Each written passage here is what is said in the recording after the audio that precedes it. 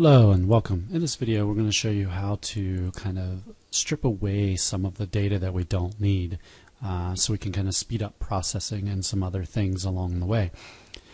Now we are going to look at uh, Dane County and our class and so we have a set of data uh, that we could select by a location to export data then that is only within or touching Dane County to do that, we have something called Dane County Municipalities, and if I drag it in here, uh, you can see that it shows up and it kind of disappears. So if I go back to my draw order, because remember I'm currently in my source view, uh, I can put that on top.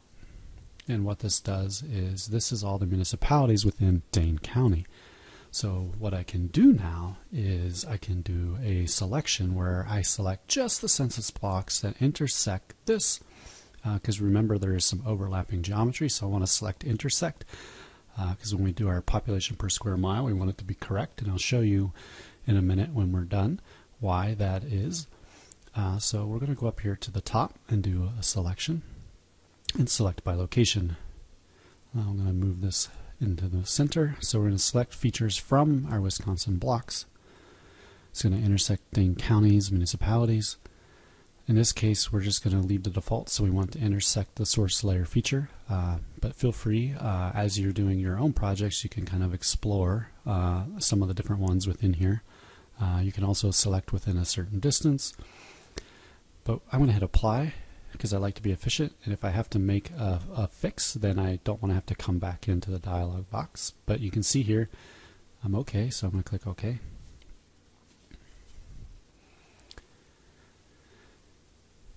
And to make this permanent, remember I have to right click on the layer, go to data, export data, and you can see I did not get the option of selected features. And why is that? Because I accidentally clicked it, clicked on Dane Municipality. So I'm going to cancel that. And I'm going to right click on the Wisconsin block, data, export data. So this is the critical component, export selected features. I'm going to leave it as a layer source and then I'm going to put it in the correct spot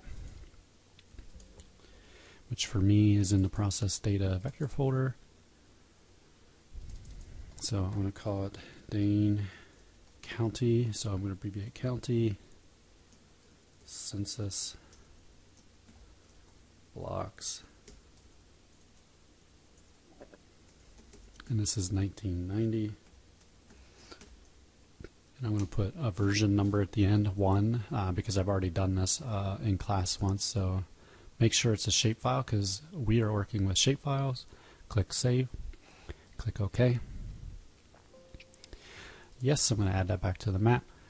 And then I'm going to clear my selected features. So you can see how long it kind of takes to regenerate and on slower machines it'll take even longer. So you can imagine when we do joins or zooms and pans or buffers, kind of stripping away the data we don't need is important, but I wanted to give my class everything in the state because they're working all around the state to start with.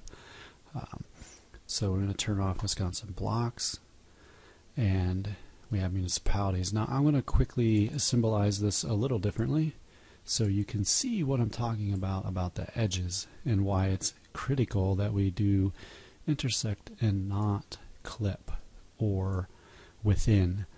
So these blocks, some of these blocks extend far beyond the county.